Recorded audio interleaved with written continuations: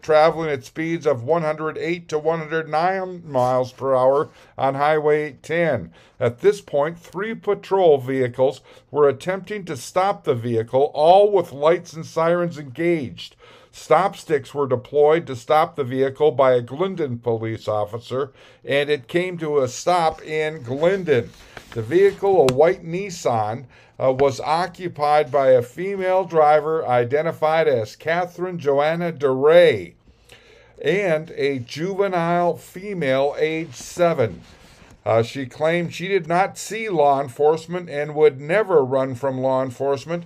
Uh, she stated that she was trying to get to a hotel room in Fargo to be safe from people who were trying to get her or her phone. Uh, she also made other statements that she needed to make uh, phone calls to Jesus Christ. I'm Neil Carlson reporting for iNewZ.TV.